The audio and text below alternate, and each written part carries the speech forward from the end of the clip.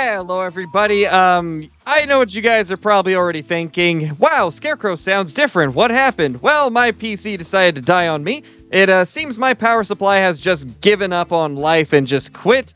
So I had to buy a brand new power supply, and well, while I'm waiting for it, I have to use my backup laptop to record and to stream. But I don't think I've got the proper audio drivers, and I really don't know what to do. I, I have no clue. But because of the fact that I'm not able to get everything sounding the way that I want, there'll be slightly less content the next couple days until I get that power supply. But I do have some footage from earlier today, so I figured I would at least uh, put that up for you guys. But it was a very interesting situation, kind of a uh, deja vu type of situation, where I had two diamonds show up, and it was very similar to two diamonds that we saw a couple days ago. In the same area virtually, we ended up getting a Greylag and a Tufted almost side by side, except this time we spotted the Greylag first, and then the Tufted was off in the distance. But out of my 3,500 hours playing Call of the Wild, that has never happened to me. I have never had two diamonds of different species be in the same spot two days apart. It blew my mind, and I really didn't know what to think.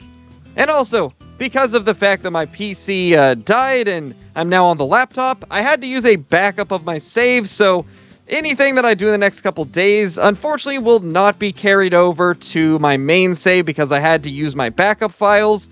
So yeah, we're kind of stuck uh, a couple days back before what we would have been.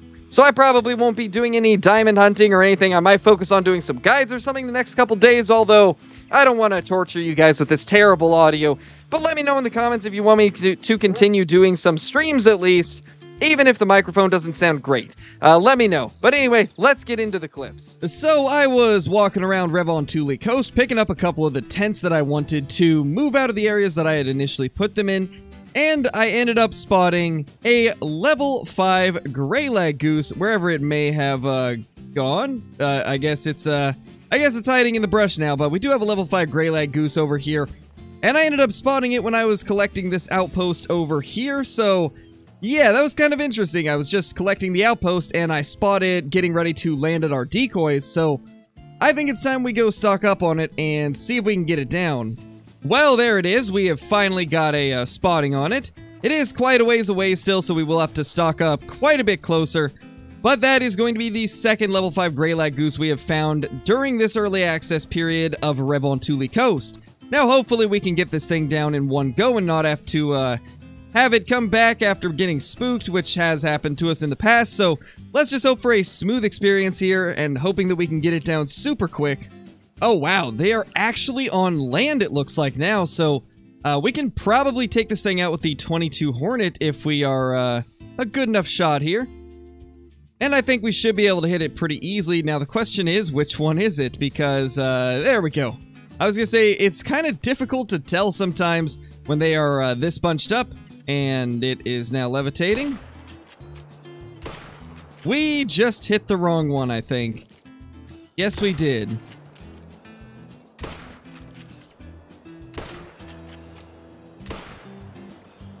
You know, maybe we can still save this. Um, I can't believe we hit the wrong one. That is truly unfortunate. But I suppose it happens. That's what we get for shooting into a big group of them like that. Man, that really is quite unfortunate. It's uh, sad to see us hitting the incorrect goose. Especially when I was hoping for that to be a very quick encounter, and instead we've got to wait for them to come back down. It's uh, very unfortunate, but I suppose that's uh, what we get for taking a little bit of a longer shot there. Probably should have just tried to get up close and take it with the shotgun. But uh, it is what it is. We will wait for it to come back, and then hopefully we can get it down. Oh my gosh. Is this, is this gonna be... This is literally a repeat of the... oh my, wow. Well, that's the last thing I expected to find. There is another level 3 tufted duck.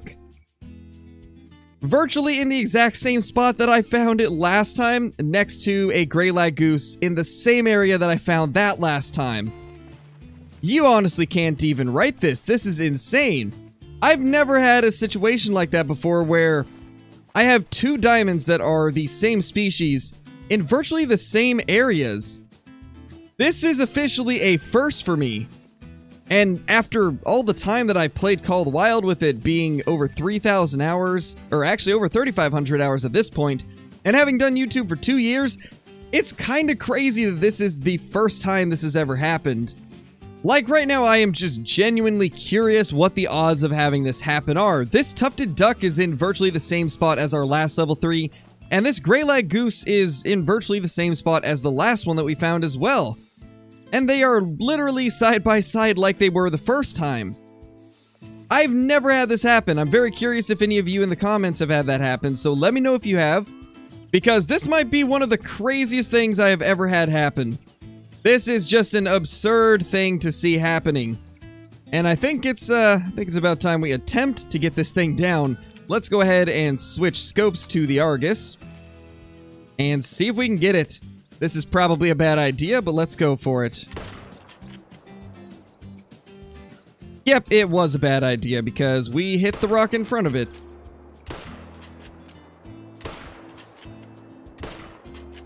And we somehow saved it! Oh my gosh, I can't believe we actually made that shot! We have not had the best luck with making shots on ducks with this update. They're just incredibly difficult to hit now. But we somehow made that one.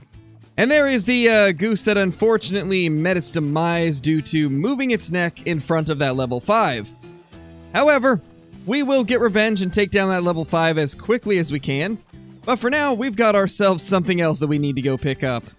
You know, as strange as it may sound, I'm actually a little bit disappointed that I ended up finding these two random diamonds because I was planning to make a video today talking about something else like the raccoon dogs, since we haven't really covered them, and I also wanted to cover something else that I discovered on Te Awaroa, but now we've got these diamonds to uh, take down instead, which is definitely a good thing to find, like, I'm happy to find the diamonds, but uh, now I gotta figure out what I'm gonna do for this video. Well, there is our little tufted duck. Now, we honestly just can't get away from uh, the tufted geese and the gray or the tufted ducks and the greylag geese. It seems like they are the ones that we have been finding the most, and that's a much smaller one than the last one, 9.80.30 or uh, 980.30. Definitely way smaller than the last one, but still really cool.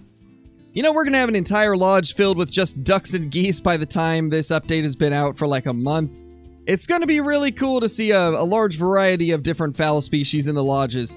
And I'm thinking about making a bird lodge. Now, let me know if you guys want to see that, because I think it could be cool making a bird lodge, because now with the amount of birds in the game, we could totally do that. And I'd definitely be down to try and build like a, a bird lodge that would have pretty much every species of bird in it with all the rares and diamonds. I think that would be a cool little project. And it would also give us a reason to use the Spring Creek Manor over Saseka Safari, so I think that's something we might end up doing. Let me know if you guys want to see that because I would definitely be down to make it. There we go. There's the level 5. It's about time we got it back. And I think we can actually take it out with the shotgun this time because we are in our blind already, which means we won't have to try and race over here and attempt not to spook it, so... I do want to try something interesting, though. I have noticed that you can hit things very far away with the bird shot. So we're going to try a much farther shot than what I normally would. Now, this might be risky. It's probably a bad idea.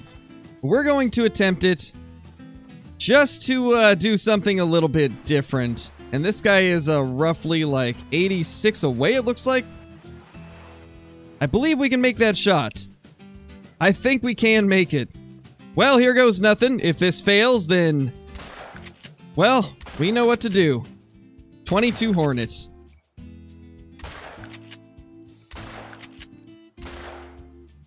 Oh my gosh, it worked. It actually worked. That is insane.